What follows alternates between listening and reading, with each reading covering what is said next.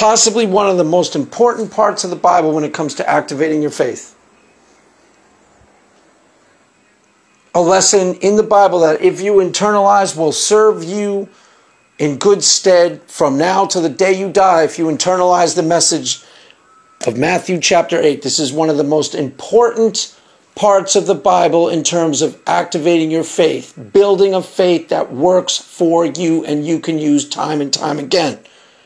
It's the part with the centurion. Jesus winds up saying to the centurion after a brief meeting, what does he say to him? He says, Verily I say unto you, I have not found so great a faith, no, not in all of Israel. So Jesus says to this centurion, I have not seen as great a faith as, this, as the faith that this centurion possesses in all of Israel. Underscoring what I just told you, that this is one of the most important little passages of the Bible when it comes to activating your faith. Jesus is telling you plain and simple, this is how you have so great a faith that even Jesus hasn't seen it in all of Israel. And what do they talk about? What do they talk about in their brief little meeting? They talk about obedience and understanding the chain of command. Let's take a look. Remember that. Obedience and understanding the chain of command. So let's take a look. Jesus saith unto him, And when Jesus was entered into Cap- Capernaum, there came unto him a centurion beseeching him, and saying, Lord, my servant lieth at home, sick of the palsy, grievously tormented. And Jesus saith unto him, I will come and heal him. The centurion answered and said, Lord, I am not worthy that thou shouldest come under my roof but speak the word only, and my servant shall be healed. Speak the word only, and my servant shall be healed. And here's the most important part For I am a man under authority, having soldiers under me. And I say to this man, Go, and he goeth, and to another, Come, and he cometh, and to my servant, Do this, and he doeth it. And when Jesus heard it, he marveled and said to them that followed, Here, here it is. Verily I say unto you, I have not found so great a faith, no, not in all of Israel. So why was Jesus so impressed with his faith? And what did they actually talk about? What they actually talked about was the chain of command. I have, a, I have servants under me, and I say to this man, Go, and he goes. And this man, you know, Come, and he comes. Stop. Forward march. Halt. Turn to the left. Walk three paces. Turn to the right. That's the way the chain of command works in the military. And what God is trying to show you through this particular passage is that is the way that the chain of command is supposed to work in the kingdom of heaven between you and God. It's supposed to be master servant, unquestioning. Go. Open this door. Walk in. Turn to the left. Walk straight. So, how do you do that? Well, first of all, you start off when you are seeking God's true will in a situation.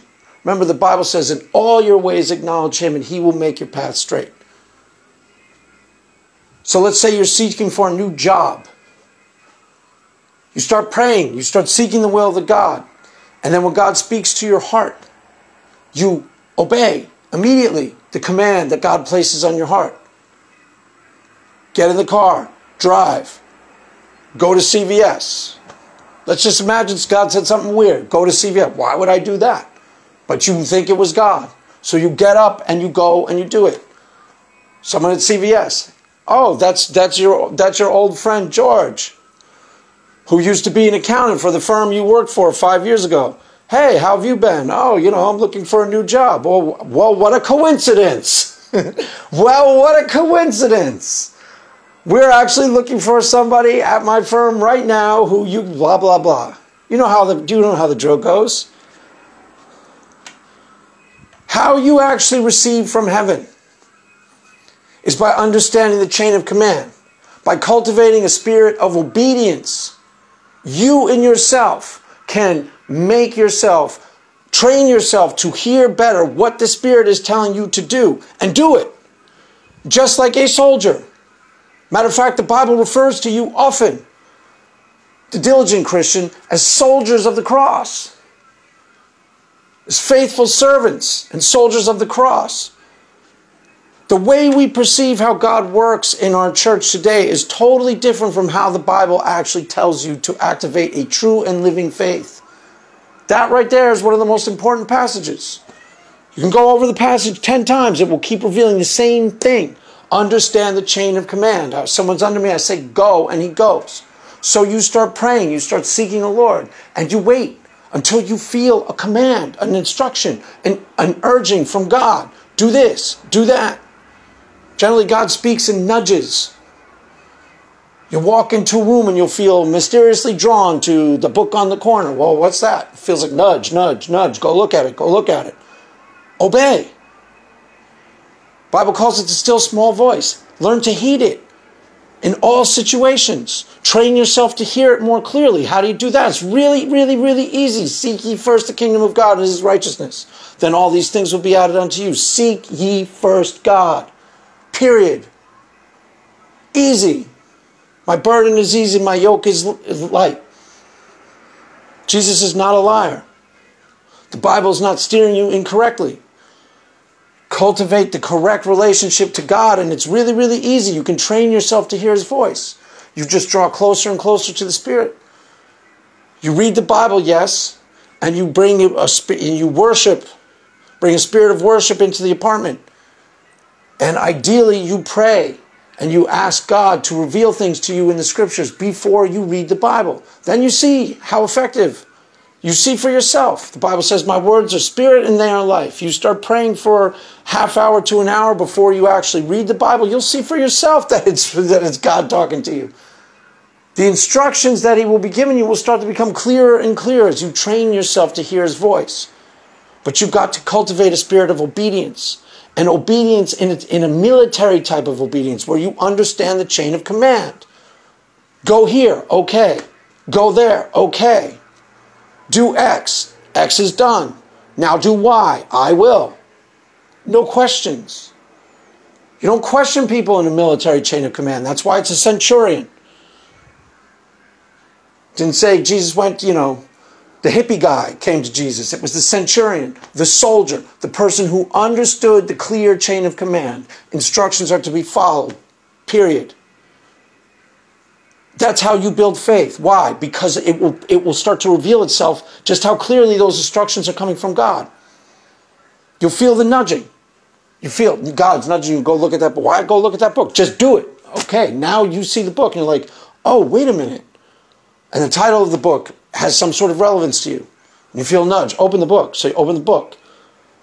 That's how it works. It starts building your faith because one command leads to the next. One thing leads to the next. You'll start actually understanding because God will demonstrate to you by you obedi- obediently following His voice and training yourself to hear His voice better just how sovereign He actually is. Now, I've said this in other videos.